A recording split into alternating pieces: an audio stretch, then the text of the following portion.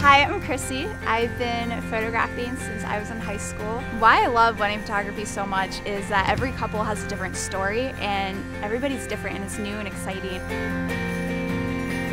I love just being able to get to know couples and meet with them before their wedding and really get to know who they are as individuals. So we had booked a, a, previous photographer and it was kind of a disaster and the pictures really didn't come out the way that we were hoping they would.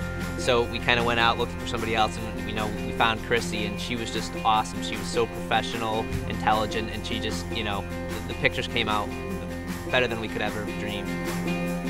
It's so much fun because everyone's different and it's just so exciting and it's new and seeing the love between two people and being able to just like get excited about it to me, I just I love I love being able to capture that.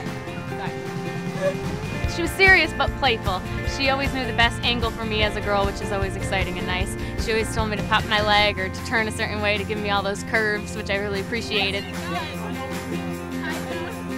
I love being friends with my couples and just being able to get to know them. And it's not about just showing up to their wedding day and taking photos. It's about this whole relationship process and really getting to know them and being friends with them afterwards. And I just, I love that. It's like I have so many friends now all over the place.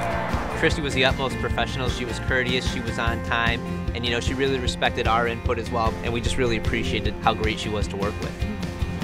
And being a recent bride, I had the opportunity to be on the other side of the camera, which was different for me, being photographed versus photographing. I now understand so much more the importance of being able to connect with your photographer. Your wedding should be the most joyful day of your life, and your experience with the photographer should only add to that joy.